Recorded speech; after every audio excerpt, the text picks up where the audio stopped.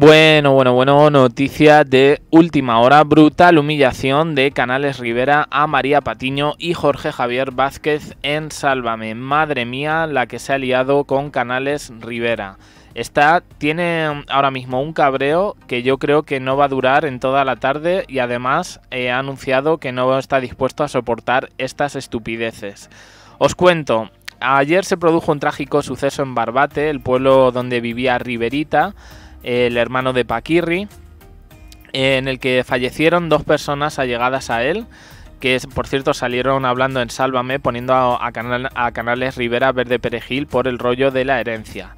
Bueno, pues han llevado a Canales Rivera a Lemontí con María Patiño y Terelu Campos y María Patiño le suelta, ¿tú te sientes culpable de la muerte de estas personas? Pero, ¿qué, qué clase de pregunta es esa? Como si él hubiera no sé, mm, encendido la cerilla que, hubiese provocado el incendio.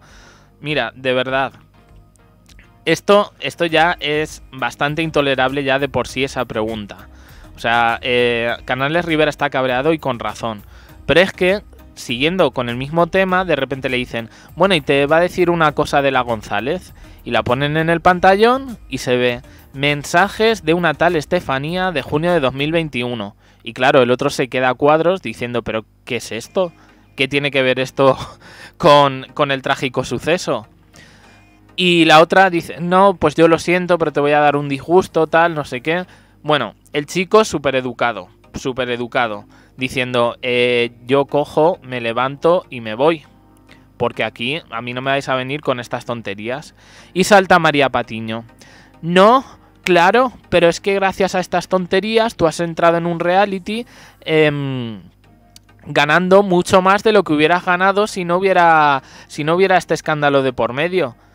El chico lo explica muy bien, ha dicho, dice, es un error, yo he cometido un error, ahora estoy pagando mi penitencia, tal, no sé qué, dice, pero yo no vengo aquí a que se me humille eh, mostrando conversaciones privadas, etcétera, etcétera.